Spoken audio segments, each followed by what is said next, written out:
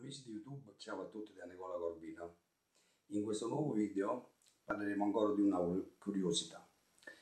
Però prima volevo dirvi che i numeri della collezione di Diabolic sono 844, che vanno dal numero 1, il del terrore, all'ultimo, quello di giugno 2017, Caccia all'assassino. Però in questi 844 44 numeri, vanno inseriti altri 12 numeri che sono delle ristampe. Queste ristampe vanno dal 12 marzo 73 al 13 marzo 78.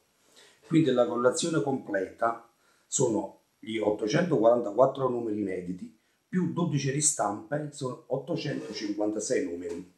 Queste 12 ristampe sono state inserite nell'arco di 5 anni, precisamente dal 12 marzo 73 al 13 marzo 78. Quindi anche queste 12 ristampe fanno parte della collezione ufficiale.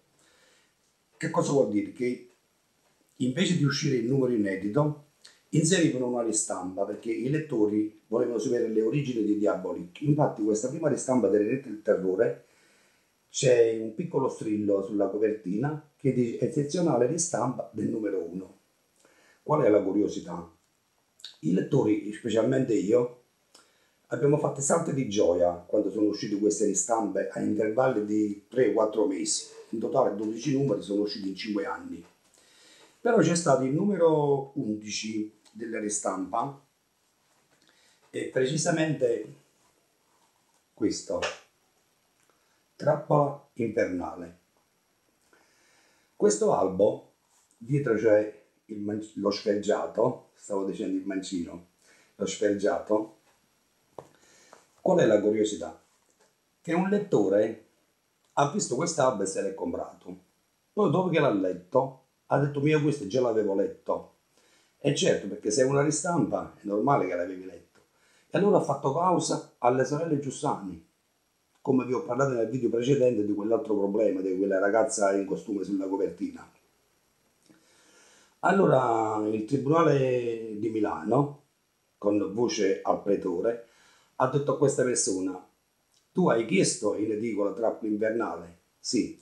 Quindi ti è stato consegnato questo giornalino che tu avevi chiesto, questo fumetto? Sì. E quindi la casa editrice non ha nulla da ricambiarti nel fatto che tu già avevi letto questo fumetto. Perché poi sui primi tre numeri c'era, c'era lo strillo in copertina eccezionale prima di stampa. Invece nel, nei numeri successivi stava nel frontespizio, vedete? Ristampa numero 11 del 10 novembre 63. Allora anche questa volta vi devo dire che Diabolic vince sempre. Se questo video vi è piaciuto mettete un like su mi piace, fate pure i vostri commenti e potete chiedermi anche delle curiosità. Magari io cercherò di rispondervi nel migliore dei modi. E iscrivetevi al canale, così vi terrò sempre aggiornati. Ciao a tutti da Nicola Corvino.